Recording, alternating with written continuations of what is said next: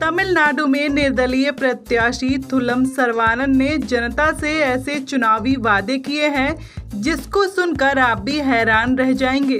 उन्होंने अपने वादों में एक मिनी हेलीकॉप्टर, हर घर के लिए एक करोड़ रुपए, शादियों के लिए सोने के गहने, तीन मंजिला घर।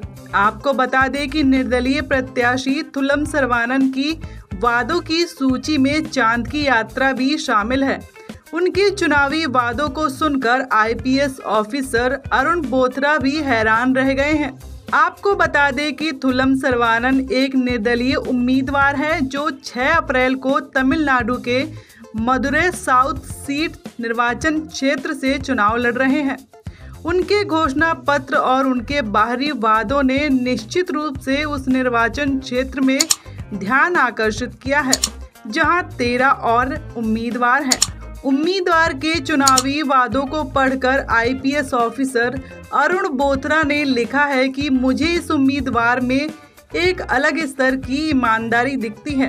बता दें कि 33 वर्षीय पत्रकार से उम्मीदवार बने थुलम सरवानन ने कहा है कि मेरा उद्देश्य राजनीति दलों द्वारा मुफ़्त में फंसते लोगों के खिलाफ जागरूकता बढ़ाना है।